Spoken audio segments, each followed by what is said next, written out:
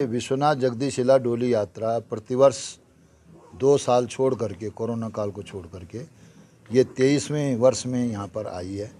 और इसका जो मुख्य उद्देश्य है, वो विश्व में शांति कायम हो। और जो हमारी देव संस्कृति है, वो ज़िंदा रहे। हमारे चार धाम विश्व प्रसिद्ध हैं। उनके अलावा पूरे उत्तराखंड में बहुत सारे शक्तिपीठ हैं, हर जनपद में, हर घाटी में, हर चोटी में।